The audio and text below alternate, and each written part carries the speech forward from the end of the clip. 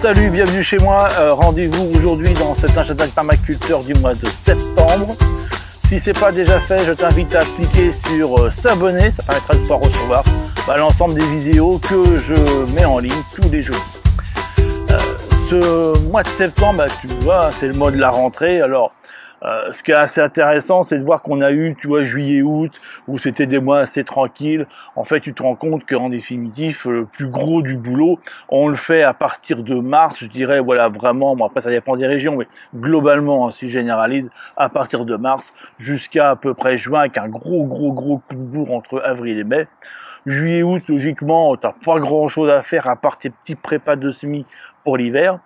Et puis, euh, et puis t'arrives, bah, comme on est là, tu vois, septembre, septembre où logiquement tout est en terre.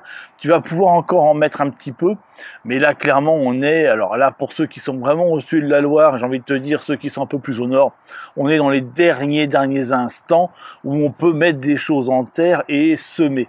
Après, j'ai envie de te dire, pour ma part en tout cas, moi, moi qui suis tu vois en Seine-et-Marne, un peu plus quand même au, nord, euh, après la mi-septembre, début octobre, et encore ça dépend parce que envie de te dire, il y a des arrière-saisons qui sont des fois très favorables, mais généralement euh, après la mi-septembre, là ça devient un peu critique pour mettre des choses en terre, c'est un peu foutu parce que euh, déjà octobre ça va pas être bon encore une fois ça dépend mais logiquement c'est pas tip top. Et puis novembre c'est fini quoi. Là t'as plus rien qui pousse ça commence à être euh, la grosse cata au niveau au niveau de au niveau des pousses. Après oui t'as un peu plus de temps. Si t'es dans le sud bon tu peux un peu plus prendre ton temps comme on dit dans le sud on prend notre temps et tant mieux d'ailleurs nous, on est un peu plus pressé malheureusement. Mais, euh, mais en tout cas, voilà, c'est vraiment le dernier instant. Mais c'est pas énorme ce qu'on a à faire, parce qu'en règle générale, on a pas mal de choses qui vont être euh, mises en conservation. Euh, et puis le reste, bah, ça va être une petite partie que l'on sème maintenant pour l'hiver. Donc on est toujours sur le même principe. D'ailleurs, c'est sur la parcelle que j'ai préparée pour cet hiver. C'est une des parcelles. Là, je t'ai mis, mis en fond exprès. D'ailleurs, c'est pas pour rien. Où tu retrouves dessus bah, mes scaroles, mes laitues, euh, voilà, scarole et laitue, c'est ce que j'ai, c'est ce que j'ai là-dessus. Il y a d'autres petites choses que je mettrai euh, euh, bah, certainement tout à l'heure. Et sur les côtés, j'ai des épinards. Voilà, voilà un petit peu l'idée. Donc épinards d'hiver qui vont, bah, qui sont déjà sortis, que j'ai mis fin, fin août, tu vois, fin août là, voilà. Et, et puis qui serviront en consommation bah, à partir de novembre avec ce que j'ai mis logiquement, juste si j'ai un petit peu de chance, logiquement jusqu'à euh, mi-février, début mars. Bon, voilà, après, euh, pas. Après, c'est un peu plus difficile d'en conserver euh, parce qu'il faut qu'on fasse des, kilomètres. Bon, c'est pas forcément utile. Mais, mais voilà, ça c'est déjà en terre, c'est déjà semé. Et puis, j'ai envie de te dire, c'est tout. Voilà, dans, ce qu'il y a à mettre, on est toujours pareil. Hein, alors, tu peux commencer à semer les choux de printemps, ce qu'on appelle tous les choux de printemps. Euh, moi, je le fais pas parce que j'utilise plutôt les choux d'hiver. Mais bon, et ça, c'est quelque chose que tu peux faire maintenant. Je t'invite toujours à regarder dans la description. Tu as l'ensemble de, de ce qu'il y a à faire ce mois-ci. À chaque fois, je te le mets. Mais, euh, mais globalement, c'est ça. Voilà, ça va être laitue, euh, scarole, chicorée scarole. Voilà, c'est ce qui va se, c'est ce qui va se faire. Tu peux encore, si tu es dans sud, tenter haricots. Euh, tout ce qui va être, on va te dire, semi à prise rapide. C'est des choses qui mettent qui mettent maximum 2 à 3 mois à sortir. Pour moi, c'est râpé. Si je remets, euh, maintenant des haricots, il y a de fortes chances qu'ils soient prêts début novembre. Bon, c'est, peut-être jouable, mais bon, c'est, limite, toi, c'est limite, c'est un peu.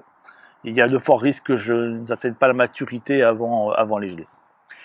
Donc euh, ça c'est les principaux voilà choses qu'il va falloir faire en septembre, c'est préparer voilà ces, ces légumes verts en fait pour l'hiver qu'on va laisser en terre, moi je laisse en terre, et selon la région où tu es, en fait j'ai envie de te dire selon le, niveau de gel que tu peux avoir, soit tu mets un voile d'hivernage dessus ou pas. Bon après, euh, essaye de voir, euh, tu connais mieux ta région que moi à mon avis, donc euh, regarde un petit peu que tu en mets ou tu en mets pas. Bon, si tu es du côté d'Antibes, en toute logique, le voile d'hivernage n'est pas forcément utile.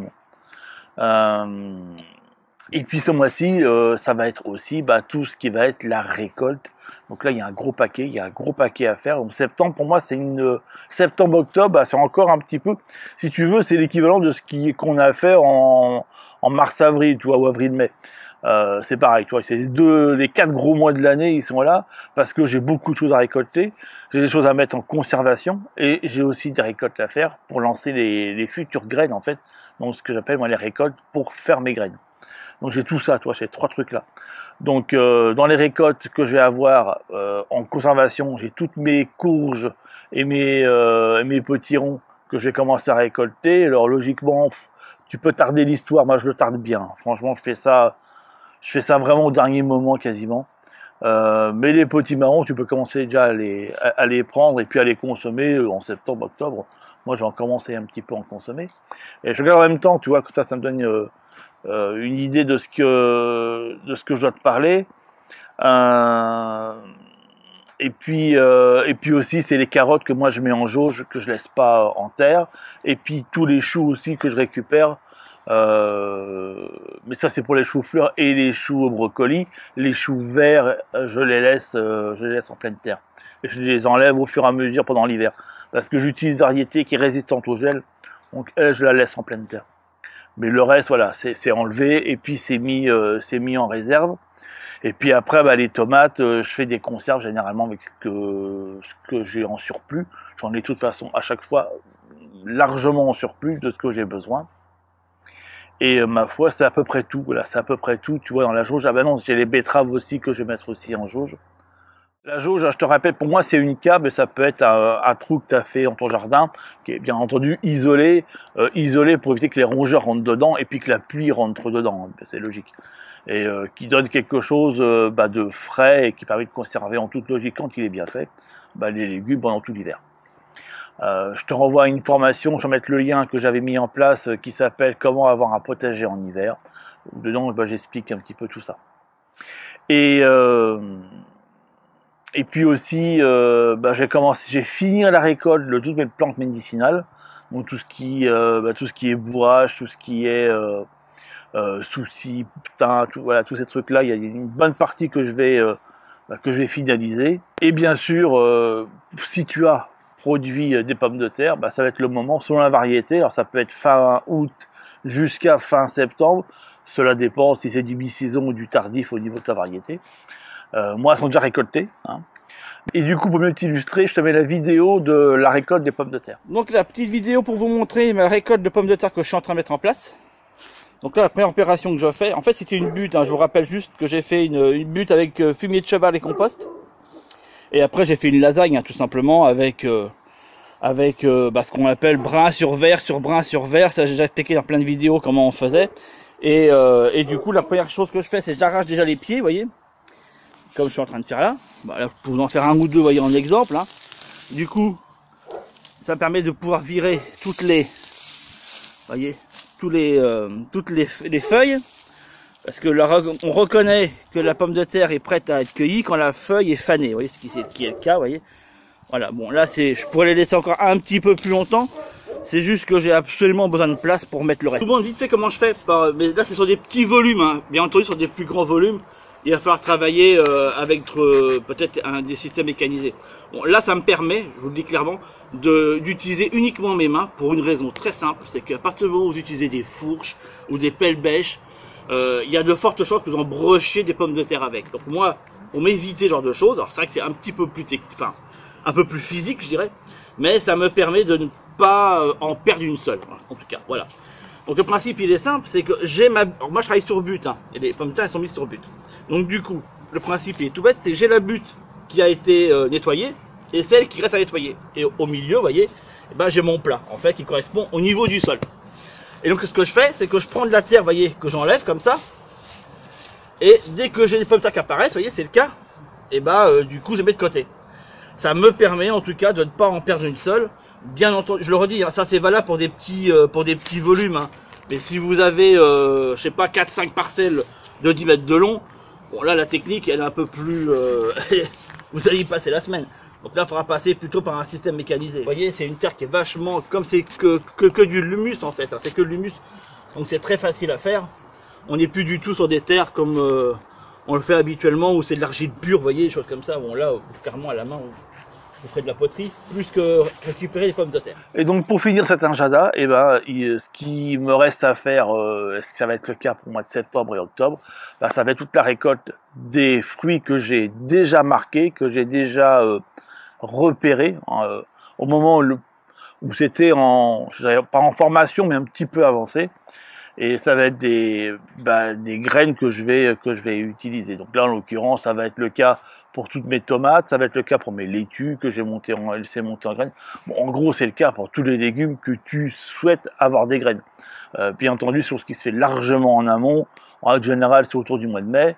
Et euh, puis tu laisses mûrir tout ça, monter en graines, et tu récoltes ça, à, je veux dire, quasiment au dernier moment. Mais malgré tout, pour les légumes fruits, ce qui est le cas, euh, ce qui est le cas des tomates euh, et puis des piments euh, que je récupère, bah, dès maintenant, j'en ai qui sont déjà prêts, donc je peux commencer déjà à produire des graines. Je te ferai je vais te faire une vidéo qui t'explique comment justement on fait pour récupérer ces graines de tomates. Il y a une petite technique à savoir. Et pour finir, ce mois-ci, c'est le bon moment pour pouvoir mettre tes pieds, tes plants de fraisier en terre. Alors, moi je vais te montrer comment je fais parce qu'il y en a que je récupère d'une année sur l'autre et que je remets en terre. Si tu souhaites de nouvelles variétés, bah, tu peux aller en chercher et puis les et puis mettre en terre. Enfin, ce que je veux dire, c'est que le mois de septembre, c'est le mois où on met, euh, c'est un mois assez intéressant et favorable pour mettre tes pieds de fraisier en terre. Je te montre ça tout de suite. Donc là, je te montre, c'est un plant de fraisier et en toute logique, tu dois avoir, tu vois, ça fait des fils comme ça sur lesquels bah, tu retrouves de nouvelles pousses. Et c'est ça que je vais réutiliser. J'en ai un petit paquet. Toi, si je suis le fil, tu vois, il y en a, il y en a beaucoup. hein. Sur euh, un fraisier, ça m'a donné, bah, c'est ce qu'on appelle, euh, moi j'appelle ça des rejets.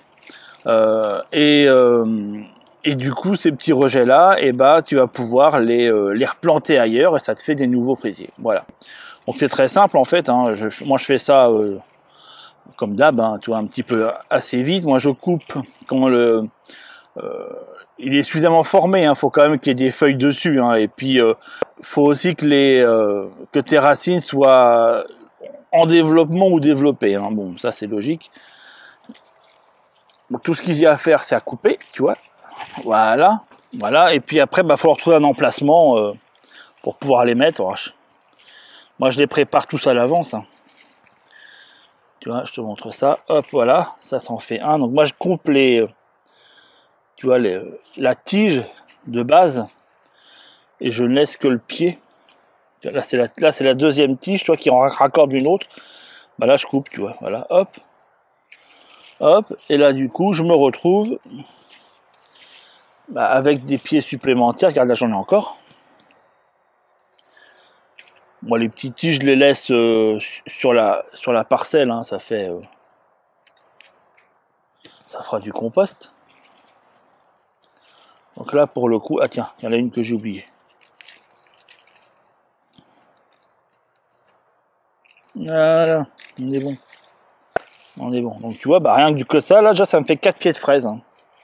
4 pieds de fraises. Quand tu vois le prix des pieds de fraises. Donc du coup, tu écartes la paille, tu arroses. Bon là, ma terre, elle est un petit peu sèche. Hein. J'en mettrai un petit coup après. Je remets dedans. J'enterre, voilà. Je vais remettre un petit peu de... Je vais remettre un peu d'eau dessus, mais voilà un petit peu. Voilà, tu... Hop. Tu mets, t'enterres, tu resserres, et puis c'est bon. Les, euh, les racines vont se mettre en place, et puis ce sera... Ça te fera un nouveau pied de fraise. Alors attention toutefois de ne pas le l'enterrer trop trop profondément. Hein. Faut vraiment euh, que t'aies, je te le montre. Hein. Faut que ça arrive, tu vois, à la l'apparition des, des premières euh, des premières tiges quand quand vraiment ta tige elle apparaît. Donc du coup, ça te donnerait à peu près ici. Là, ça reste encore la partie racinaire, mais si tu montes trop, si tu mets la terre au-dessus de la tige, bah, le problème c'est que tout ce qui est là, ça va pourrir. Donc faut vraiment pas. Donc faut vraiment, euh, je dirais, l'enterrer, mais le, le moins profond possible de manière à ce que ça puisse arriver à ce niveau-là. Eh ben, je te remercie d'avoir suivi cet agenda. Je te donne rendez-vous dans l'agenda du mois d'octobre. En attendant, pense-toi bien et n'oublie pas, ta liberté de partir.